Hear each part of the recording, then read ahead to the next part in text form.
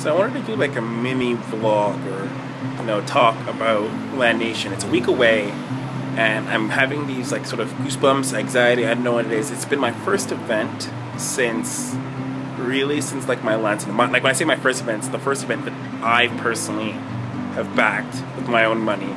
It's an event that I've put my heart and soul in that I've promoted the crap out of.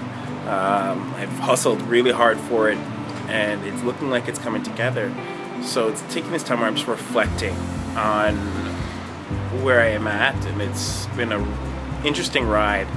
Um, ever since after the LAN center, I've been sort of drifting, and I don't, I never really knew where to be or what I'm doing, and um, you know, I have ES Champ, and been trying to figure out what that brand is and where it can contribute, where I can contribute, and what communities I can contribute to. Because I love esports, and it's always been this really hard thing for me to figure out where can I contribute the most.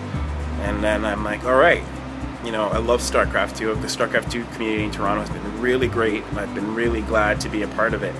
Um, and I love them to death. Like everybody is in that community, and I'm hoping Uh, that I can continue to support that community.